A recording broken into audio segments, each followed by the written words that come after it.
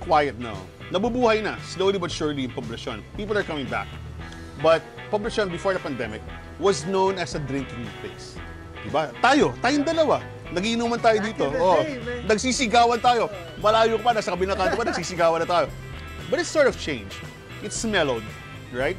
What do you think you can do or contribute to the revival or the resur- resurrection of poblasyon? Ikaw mismo. Well, first of all, Spanky, uh, a, a captain always stands on his ship. Even if it's gonna sink, he'll find a way for it to stay afloat. And our edge, we really started as a food-centered business. exactly. And the, the drinks are just a bonus. And I created this uh, place for people to get together over a good meal and have a drink. It's not all about drinking for me. Yeah. Food for me is life. It brings people together, and that's that's what I live for, man. That that that brought us here, you know. Tell me about the food we're having now. Because I'm enjoying this. I've, I've been a fan of Mediterranean food, Middle Eastern food for my whole life, right? Now, we have stuff like falafel.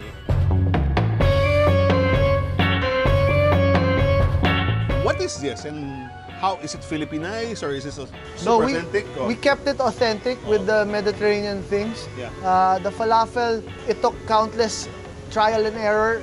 Sarap, malutong. Yeah, crispy on the outside, Yeah. moist a bit in the middle. Vegan steak, I call it. Vegan steak. What's this? What's inside? Uh, we got chickpeas, fresh potatoes, we boil it, then we saute it, cashew, cashew nuts. We make the dough, the dough that covers this up. Alam mo, sarap dito? It's very crispy. And that's what I love about Kite. Uh, people may think it's, oh, it's one of those hipster restaurants in Poblacion. But no, it's a legitimate restaurant that serves authentic Persian food.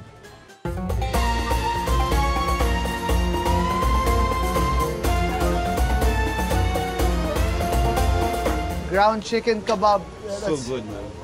We have the spicy version also, but you can mix it with the grilled tomato and the garlic sauce. Alam mo, swerte ka rin. Kasi initially, this was just a smoking area. Let, let's be honest. When you opened the veranda, it was really for people who were drinkers to have a place to smoke. But then again, because of our current situation now, everyone wants to go Al fresco. Al fresco. Yeah. That's it, man. The open air was a was a good opportunity for us to, you know, shine during this pandemic because, as you said, even myself, I would go to other restaurants and I would like to eat outside. Yeah.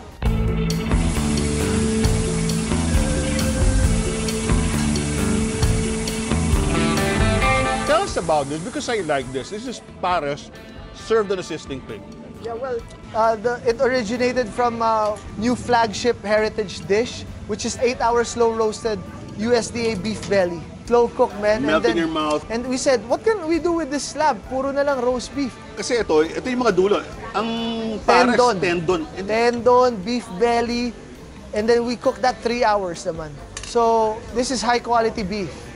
I've been a fan of your food from Persia Grill to Kite for like what, how many years? Eight years? Ten years? We're already 12 years in the business. Exactly. So it's been a decade for me. But what I really appreciate and I really, really enjoy and respect is that the, the quality is as good as the first time I had it. Uh, I just have one final question. Alam ko you're an inspirational, motivational speaker. You're very much in demand. But if you were to give one short piece of advice, what's the one characteristic that a prospective restaurateur would need in life? Anong, anong number one? Well, I'm gonna say it like this. I'll give you the formula. Okay. Life equals the people you meet multiplied by the things you can create together. Because you can't do it alone. Wala it. masabi. Oh my That's God. It's beautiful, man. Parang na-inspire ako sa'yo. Libre yan. Okay. Ah, walang bayad yan. ah. sige, sige. Salamat.